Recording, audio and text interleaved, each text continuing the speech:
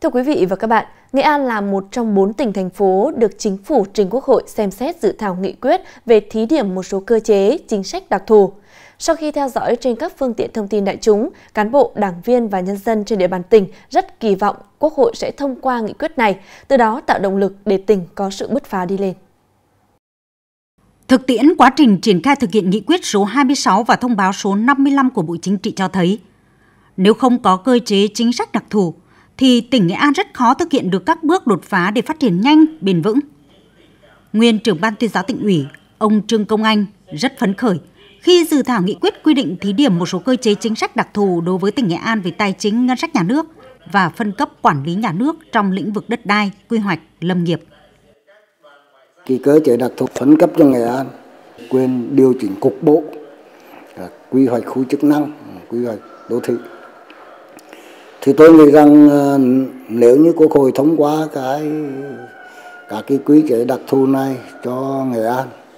thì đó chính là nó mở ra cho nghệ an những cái điều kiện rất là lớn,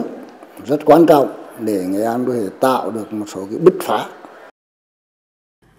Trong quản lý tài chính ngân sách nhà nước, dự thảo nghị quyết đã đề xuất tăng mức dư nợ vay, tăng thu từ hoạt động xuất nhập khẩu của hàng hóa xuất nhập khẩu, phân bổ thêm định mức chi thường xuyên.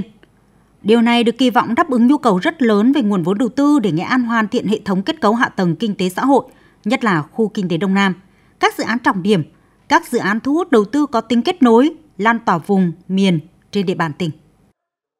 Về vấn đề về quản lý tài chính ngân sách thì những vấn đề cơ chế đặc thù đó sẽ tạo cơ hội cho tỉnh Nghệ An có thêm nguồn lực để đầu tư phát triển. Và trong đó thì những cái cơ sở hạ tầng trọng điểm của khu kinh tế Đông Đông Nam các khu của tỉnh Nghệ An cũng có một cái nguồn lực bổ sung đáng kể cho vấn đề phát triển này.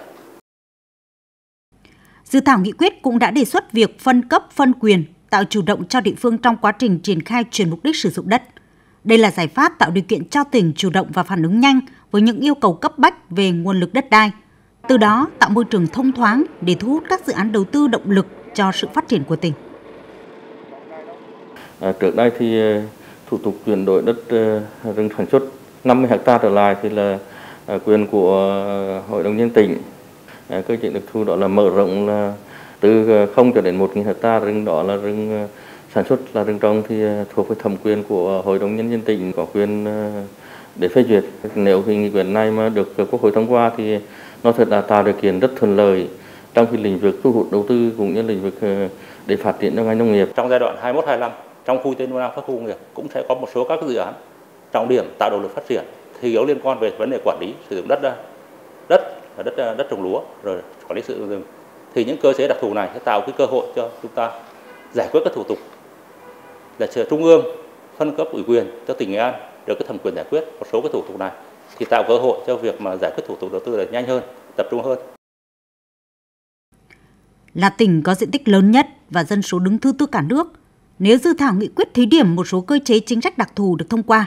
sẽ là điều kiện giúp Nghệ An phát huy tiềm năng lợi thế, thực hiện thành công mục tiêu nghị quyết 26 và thông báo số 55 của Bộ Chính trị và nghị quyết Đại hội Đảng bộ tỉnh lần thứ 19.